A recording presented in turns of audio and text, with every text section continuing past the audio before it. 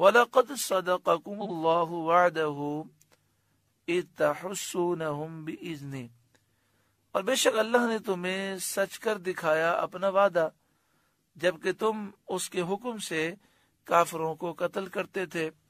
یعنی میدان عہد میں جب جنگ شروع ہوئی تو کافر قتل کیے گئے اور کافر جنگ کا میدان چھوڑ کر شکست کھا کر بھاگے۔ اللہ نے فتح عطا فرمائی۔ حتی اذا فشل تم یہاں تک کہ جب تم نے بزدلی کی وہ فی الامر، اور حکم میں جھگڑا ڈالا۔ نبی اکرم صلی اللہ علیہ وسلم نے پچاس تیر اندازوں کو یہ حکم دیا تھا کہ اس پہاڑی درے سے ہٹنا نہیں۔ تو دس کھڑے رہے اور چالیس ہٹ گئے۔ وہ آسئی تم ممبادی ماں اراکم ماں تو اور نافرمانی کی بات اس کے کہ اللہ تمہیں دکھا چکا، تمہاری خوشی کی بات یعنی تمہیں فتح ہو گئی، کافر بھاگنے لگے۔ تمہاری خوشی کی بات وہ اللہ نے تمہیں دکھا دی۔ اس کے بعد تم نے نبی اکرم صلی اللہ علیہ وآلہ وسلم کے حکم پر عمل نہیں کیا اور چالیس افراد نے وہ درہ چھوڑ دیا۔ اس وجہ سے یہ پریشانی آئی۔ مین کم میں یرید دنیا تم میں کوئی دنیا چاہتا تھا، وہ یہ چاہتا تھا کہ وہ مال غنیمت جمع کر لے۔ وہ مین کم میں یرید الآخرہ اور تم میں کوئی آخرت چاہتا تھا، وہ دس افراد تھے، جنہوں نے وہاں کھڑے ہو کر پھر کافروں کا مقابلہ کیا۔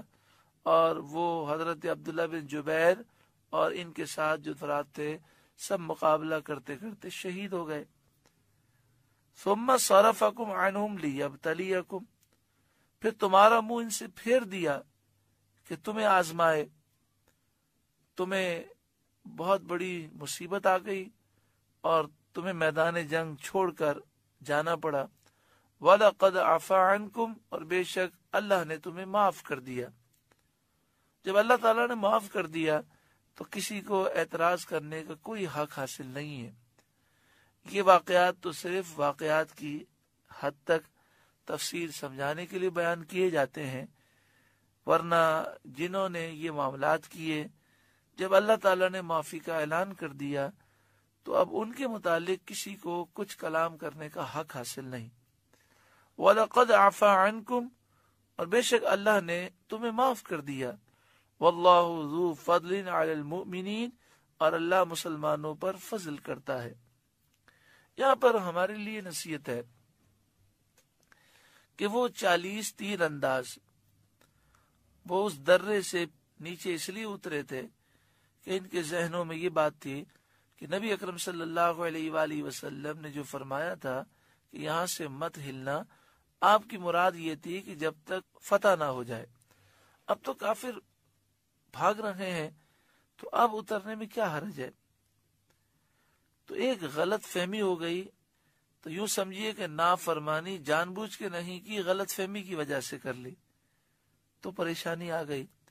تو جو مسلمان نبی اکرم صلی اللہ علیہ وآلہ وسلم کی نافرمانی جان بوجھ کر کرے، وہ سکون و چین کیسے پا سکتا ہے؟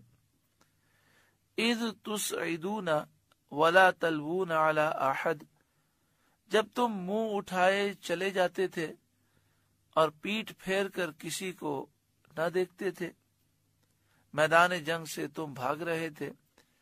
رسول یدعوکم فی اخراکم۔ اور دوسری جماعت میں ہمارے رسول تمہیں پکار رہے تھے۔ آپ فرما رہے تھے، اے اللہ کے بندو، میری طرف آؤ۔ نبی اکرم صلی اللہ علیہ وآلہ وسلم صحابہ اکرام کے ساتھ میدان جنگ میں کھڑے تھے۔ فَأَثَابَكُمْ غَمًّا بِغَمٍّ۔ تو تمہیں غم کا بدلہ غم دیا۔ یعنی جب تم نے نبی اکرم صلی اللہ علیہ وآلہ وسلم کے حکم کو نہ مانا تو آپ غمگین ہوئے۔ تو تم نے ہمارے محبوب کو غم پہنچایا، اس کے بدلے میں ہم نے تمہیں غم میں مبتلا کر دیا۔ غم مم بغم جب کوئی شخص گناہ کرتا ہے، تو اس سے محبوب کریم صلی اللہ علیہ وسلم رنجیدہ ہوتے ہیں۔ اور جو محبوب کو رنج پہنچاتا ہے، اس کے دل میں خوشی داخل نہیں ہو سکتی۔ اس لیے اگر بندہ یہ چاہتا ہے کہ سکون پائے، تو اسے چاہیے گناہوں سے سچی پکی توبہ کرے۔ مگر یہاں پر پھر وضاحت سماعت فرما لیں کہ یہ سارے معاملات ہماری تعلیم کے لیے ہیں۔ وہ تو وہ مسلمان تھے جنہوں نے نبی اکرم صلی اللہ علیہ وسلم کا دیدار کیا۔ اور اگر وہ میدان جنگ سے ہٹے بھی تھے یا درے سے نیچے اترے تھے، تو ایک غلط فہمی کی وجہ سے ایسا ہوا تھا۔ پھر بھی اتنی مشکلات آئیں۔ لیکن آج تو سمجھانے کے باوجود بھی جان بوجھ کر شریعت کی مخالفت کی جاتی ہے۔ لکیلا تحسن علامہ فاتکم۔ اور معافی اس لیے سنائی کہ جو ہاتھ سے گیا، جو نقصان ہوا، اس پر افسوس نہ ہو۔ ولا ما اصابکم اور جو مصیبت تم پر پہنچی، اس پر تم رنج نہ کرو۔ یعنی پریشانی آئی، یہ تمہاری نصیحت کے لیے تھی۔ اس کے بعد معافی کا اعلان اس لیے سنا دیا کہ جو تمہیں نقصان ہوا، جو تم پر مصیبت پڑی، اس کا غم تمہیں نہ ہو۔ واللہ خبیر بما تعملون۔ اور اللہ کو تمہارے کاموں کی خبر ہے۔